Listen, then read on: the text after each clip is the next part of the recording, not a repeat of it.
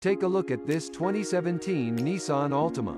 Equipped with a CVT with Xtronic transmission in brilliant silver.